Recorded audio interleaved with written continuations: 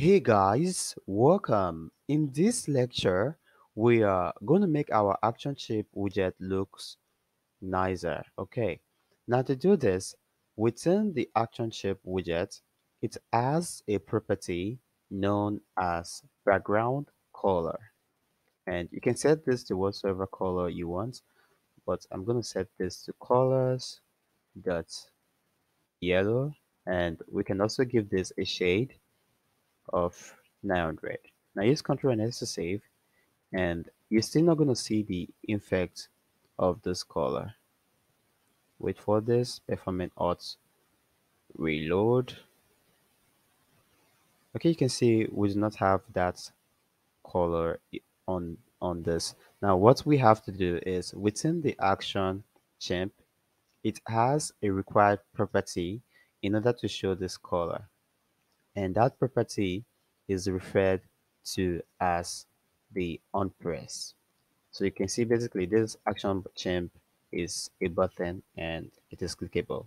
So it wants us to pass this onPressed.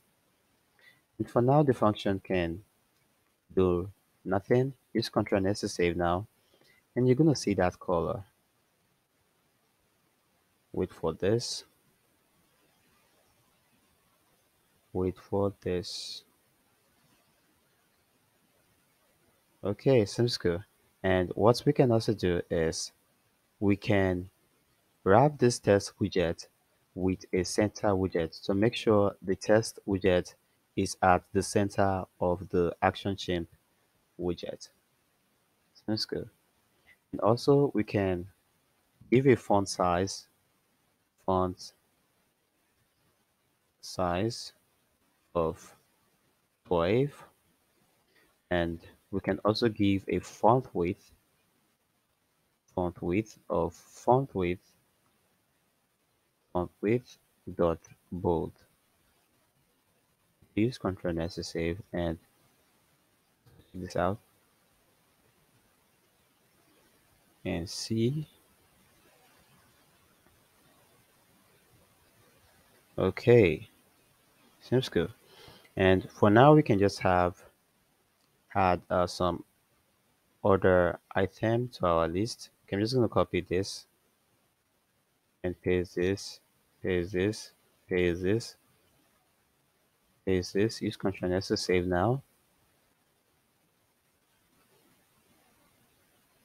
And, and, and, and, and, and, and, and. Okay. You can see we can scroll this way, horizontal scroll. And you can see it is trying to go inside this arrow. And the reason for this is because we wrapped it with this expanded widget. So that, that is why it's trying to use you, you feel it's trying to go inside that arrow. It's basically just trying to take the available space.